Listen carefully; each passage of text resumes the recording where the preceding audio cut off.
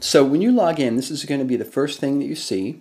And in the back, you can customize what information you want to display. The way to do that is click on Screen Options. That'll expand this area right here. And you could just deselect what's not important to you. What's happening right now, recent comments, recent drafts, and we'll keep it really, really simple. We'll have it be two column, and that is it. Okay? Just minimize that. You don't have to save anything at all. All right? To manage your user profile, you just click on Your Profile on the left-hand side.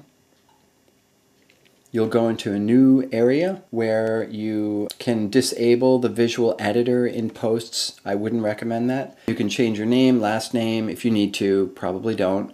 Uh, you can also change your email address and you can add website, you can update your bio, and you can change your password.